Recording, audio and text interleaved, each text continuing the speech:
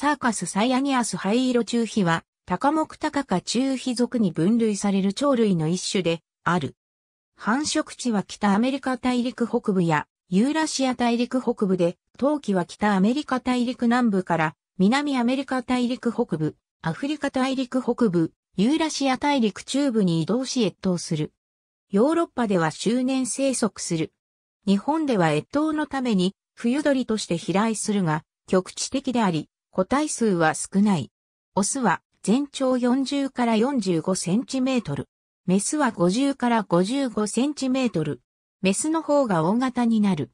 オハの背面には白い斑紋がある。オスは全身が灰色で、初列風切り葉は黒い。腹部の羽毛は白い。メスや幼鳥は全身が褐色の羽毛に覆われる。覆面は泡褐色で褐色の斑紋が入る。草原や湿地に生息する。地上付近を低空飛行したり、地上を徘徊しながら獲物を探す。地面に草や木の枝を束ねた巣を作る。食性は肉食性で、両生類、爬虫類、鳥類、小型哺乳類等を食べる。繁殖形態は卵生。4月から6月に3から6個の卵を産む。放卵はメスのみが行う。リーストコンサーン。ありがとうございます。